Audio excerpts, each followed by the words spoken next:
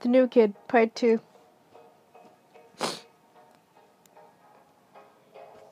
We've been dating for a while now, Adam and I. It's been about a month or so. Maybe even more. It was the last hour of the day. I wave to Adam as I head to my locker. I open it and get every everything ready for the last hour. Hey! I jump a little and look at him and smile. Hello!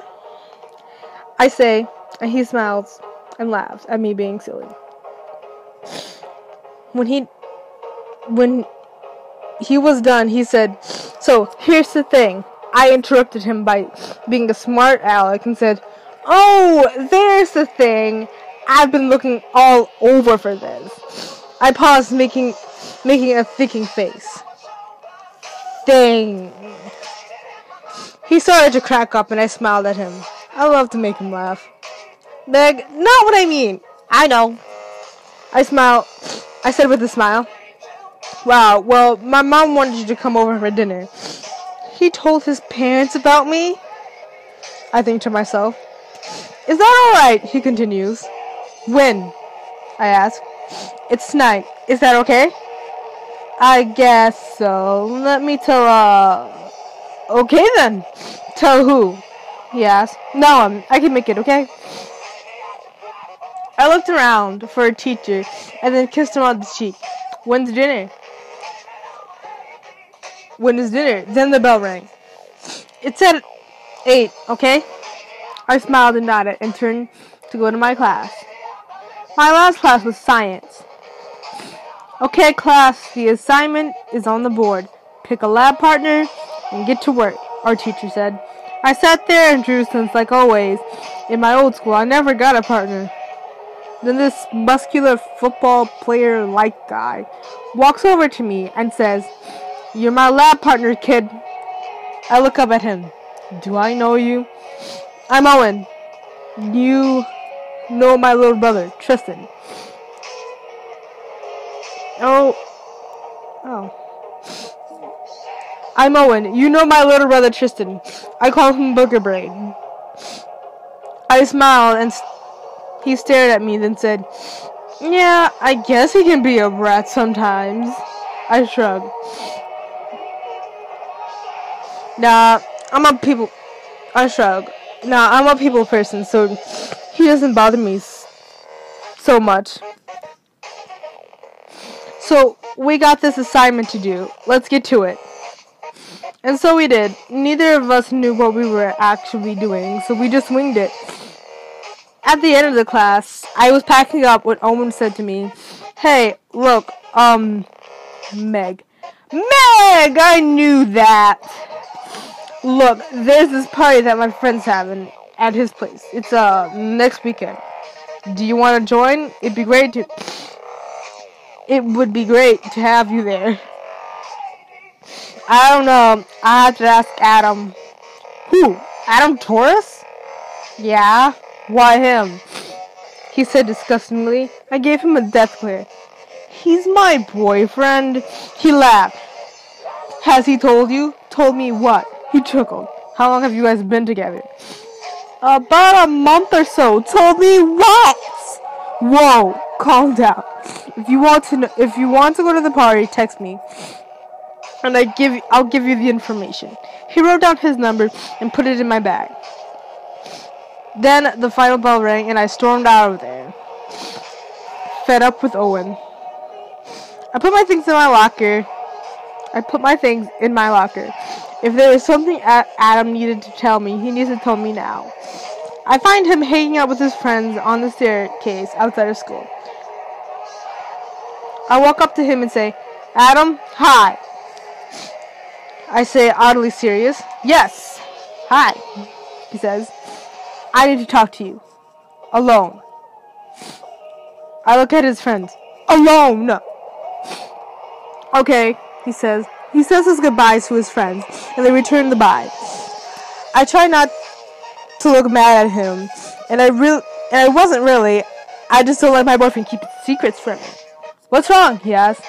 So, you know a guy named Owen, right? He frowned. Yeah? Why? He invited me to a party. Okay, and there I go. He shrugged. I don't see why not, but he's not all that nice.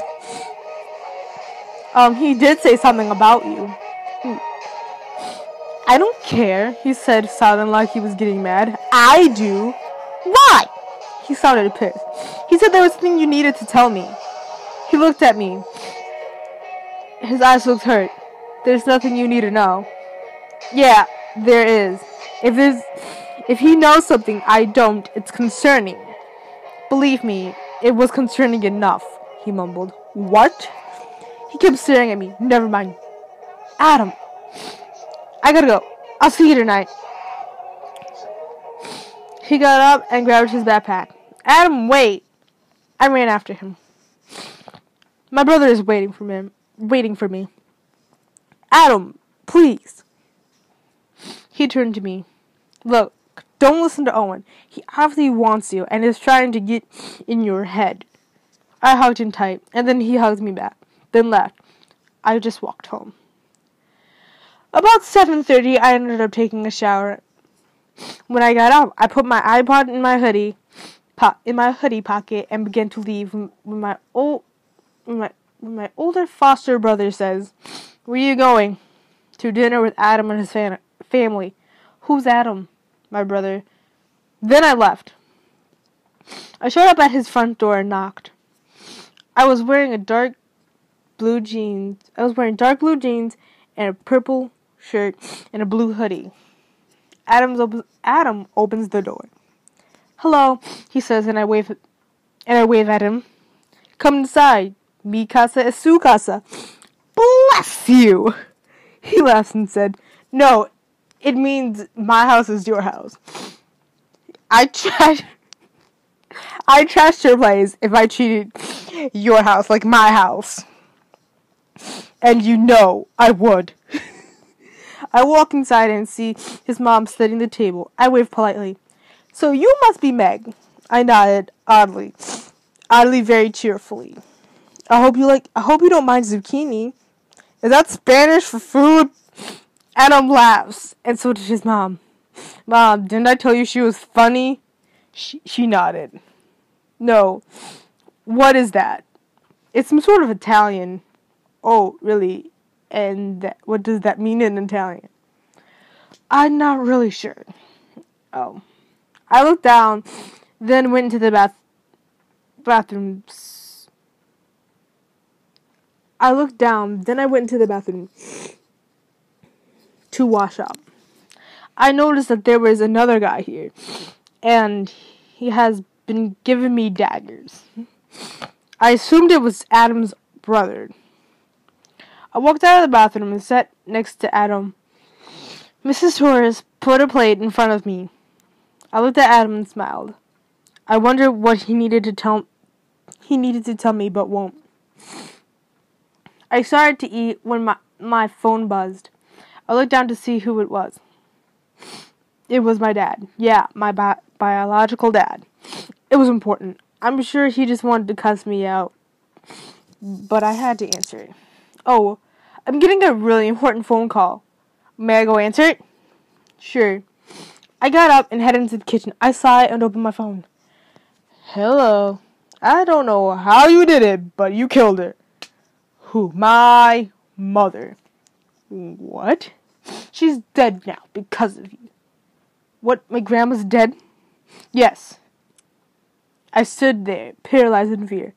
My grandma was my world, and now she's gone. No more nagging, no more off key singing, and no more hugs, no more getting treated right. I dropped my phone. My world has shattered around me once again. I started to shake. I was gonna have a panic attack. I started to breathe heavy. I looked over and saw a knife on the shelf. I slowly walked over to it and put the I slowly walked over to it and I began to think of her. I loved her so. I started to scream out in pain and fall to my knees. I raised the knife. Then I hear a Meg! I fall over to my side and hit the fetal, posi- fetal position. I started to shake. Everything around me was going black. And the only thing I could hear was Adam's words. Oh, baby, it's going to be okay.